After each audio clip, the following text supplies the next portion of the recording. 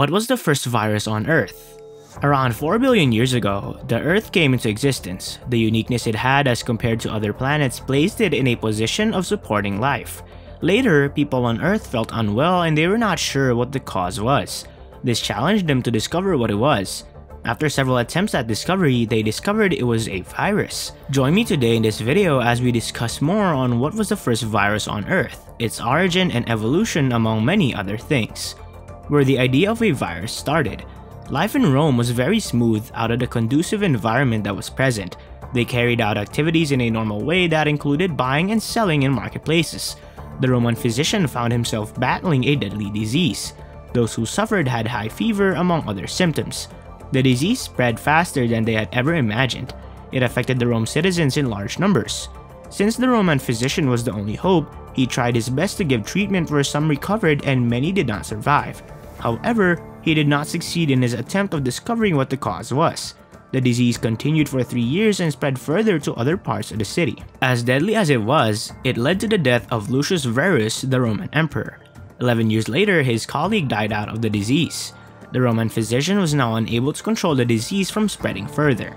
All he did was document the disease, but if he had the same scientific knowledge possessed by the current doctors, he could have discovered the disease as smallpox. The disease was later conquered in 1980 after a long battle and it was caused by a virus. This was not the end or the start of a virus. What the Roman physician didn't know was that the virus had come into existence even before life began. The virus had undergone several evolutions to be where it was. If the Roman physician had the equipment our current doctors have, he could have been in a better position of discovering what the disease was. Origin of a virus In 1982, a disease came up that was troubling tobacco plants. Dmitry Losifovich decided that he wanted to discover what the disease was. He took the leaves of the affected plant and crushed the leaves to obtain a liquid extract. He took the liquid extract and passed it through a filter for him to make a discovery. Surprisingly, the process filtrate still was in apposition of infecting the tobacco plant.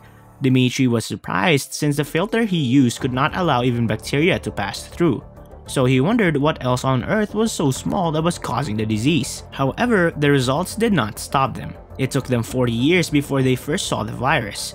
This was because it could not be seen by naked eyes. The process was successful after several scientific advancements. This makes it difficult for us to see the virus responsible for smallpox and hepatitis. There are more viruses on Earth responsible for causing various diseases in the human body.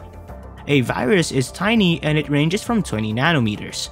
This means that most complex viruses are the ones that can easily be seen.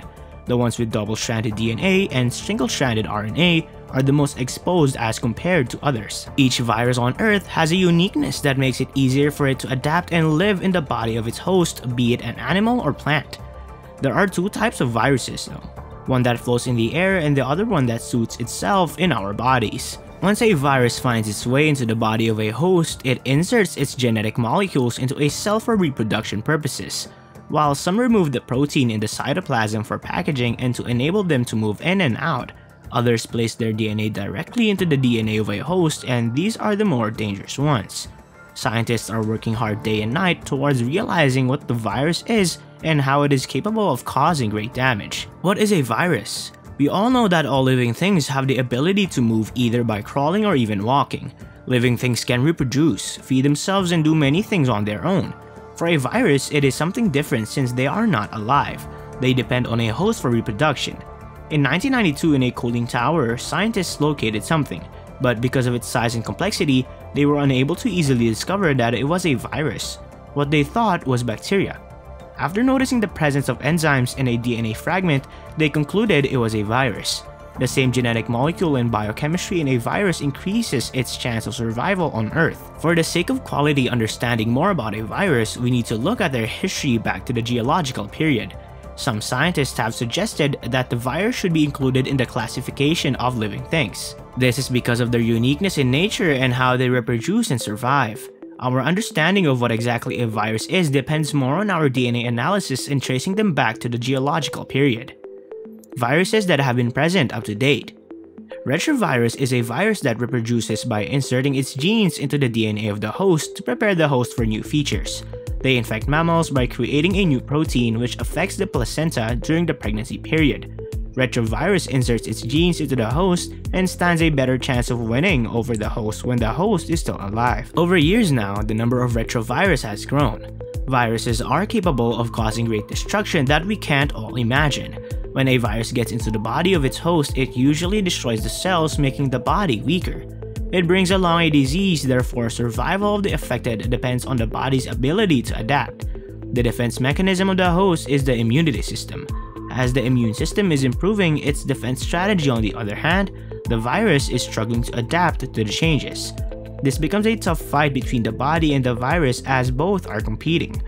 A virus can also be released into the world where it can affect another host of a different species. The genes that a virus has are shared between the virus and the infected host.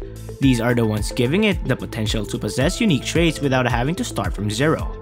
Later, the Genome Project was out to understand the DNA of humans. After 13 years of several tasks that were not easy, the project was complete. This happened after several improvements in genetic computing. Understanding the DNA composition proceeded for a while until the 21st century. It was disclosed that 4% of the DNA contacts with the genes for one to be able to determine our features. The rest are said to be originating from the virus. In 2002, after the completion of the Human Genome Project, a virus was created in New York. This was a success out of the use of simple genetic techniques of the Genome Project to obtain DNA. This gave rise to the polio virus. This virus was similar to the one that affected the eyes of children in the past century. Small genetics could move from one place to another in the gene. This process took place in eukaryotic cells. If the sections of the DNA were in need of the ability to move in and out of the cell with the help of a protein, their transmission mode could be like that of a virus. This evolution process is like that of a retrovirus which is also unique in its own way. However, this transmission mode is not fit for all other viruses. Viruses have one characteristic that makes them to adapt in any environment. That is reproduction, which makes it easier for a virus to survive. Viruses are unique in nature and even in the way they survive. They have not only come into existence lately, but have been there even before life began. Viruses were there in the first cells and were also there even before the cells. This brings us to the conclusion that true life and viral life are all destined to be. The virus is present and ready to infect whenever it comes across a host. The survival chances of the host depend on its defense mechanism. Virus infection will always be part of life on Earth. Thank you for watching this video and please remember to subscribe so that you don't miss on any latest news.